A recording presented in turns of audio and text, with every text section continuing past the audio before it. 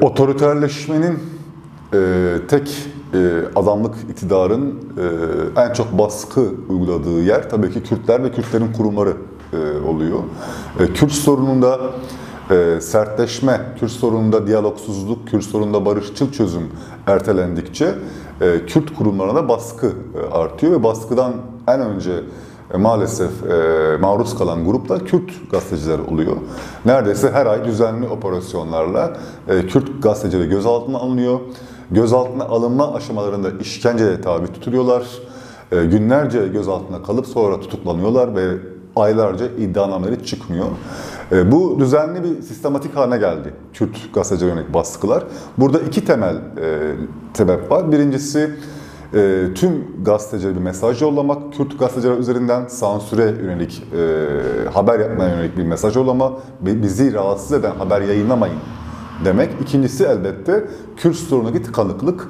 E, bu diyalog süreci başlamazsa, Kürt sorununda barışçıl, demokratik bir çözüm e, masaya konmazsa bu tür baskıların daha fazla artacağını düşünüyorum ben. E, şöyle diyebiliriz, e, maalesef olumsuz yaklaşacağım. E, Kürt gazetelerine yönelik baskılar Türkiye'nin batı yakasında yeterince bir ses bulmuyor. Türkiye'nin batı yakasında yeterince bir danışma bulmuyor. E, Türkiye'nin batı yakasında Kürt gazetecilerin tutukluluğu gündem olamıyor. E, bu da Türkiye'deki siyasal e, etkileşimde bir e, e, zemin olduğu e, fikrinin doğru olmadığını e, ortaya çıkarıyor.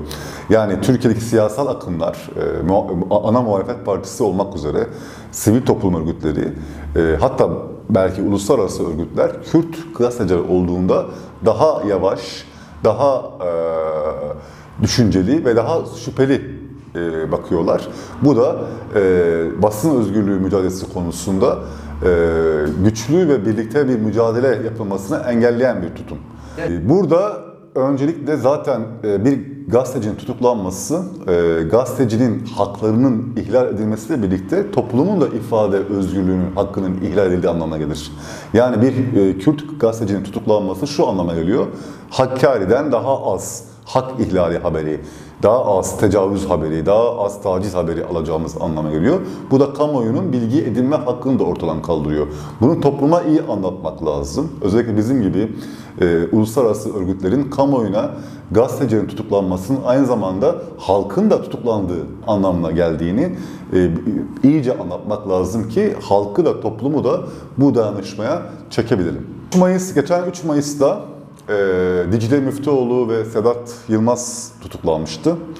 E, 10 ay tutuklu kaldılar. Bu 3 Mayıs'ta bu haftada Erdoğan Olaymat ve Esra Solin ve diğer arkadaşlar tutuklandı. Yani yine Kürt gazeteler tutuklandı.